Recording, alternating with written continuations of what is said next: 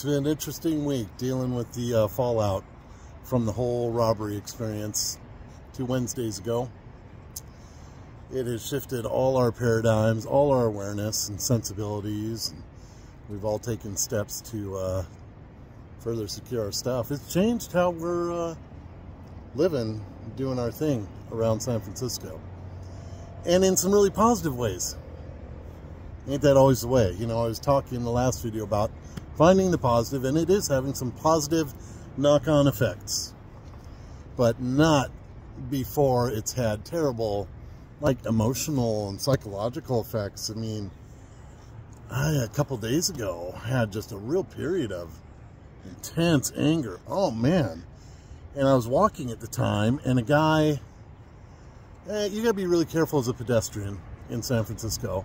And I do a lot of walking, a lot of busing, and was crossing a street. It was dark, it was rainy, so I was really watching out for traffic. And a guy came just hauling ass out of a parking spot to go 20 feet to the stop that I was crossing at. And I lost it on this guy. So out of character. I mean, I was shocked. I mean, it was righteous anger, but normally all it gets from me is a scowl when somebody's acting that way. And I went off on the guy. And after he'd left and I continued on, I was like, holy shit, what was that? That's not how I do things. And it was then that I realized where that came from. And then for like 24 hours, I was dealing with that rage just coming out. Uh, it's interesting because I talk a lot about not bottling things up, you know?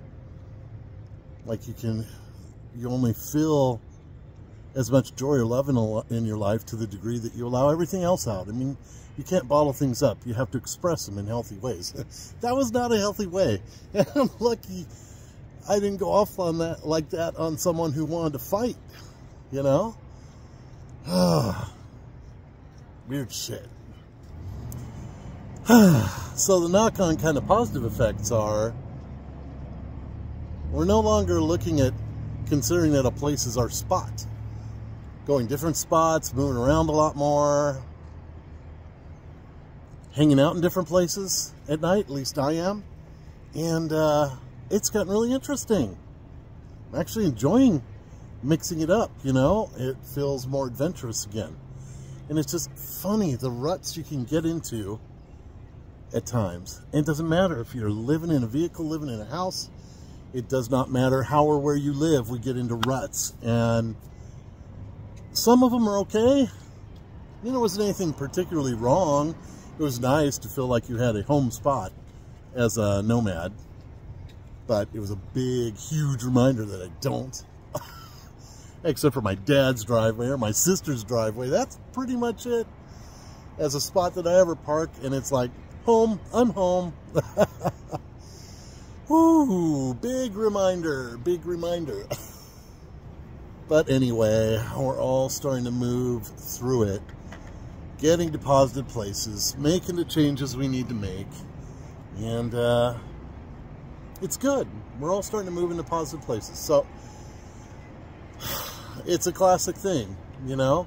We hit these really dramatic events, challenges, something about what we feel so securing gets just shredded, ripped away from us without warning, and it's traumatizing.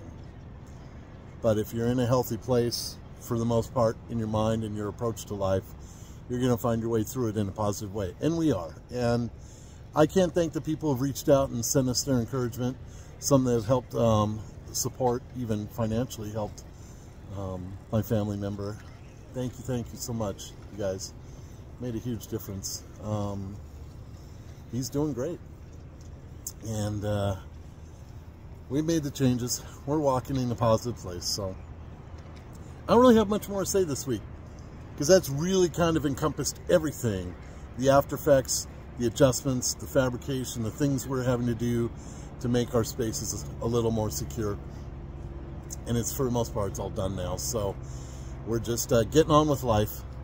And uh, in my case, that means getting on with Jackdaw. So finally in emotional, mental space to move on with that now and get back in my groove. So that's what's happening.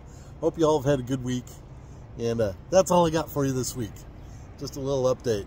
Nothing fancy. All right. Have a great weekend.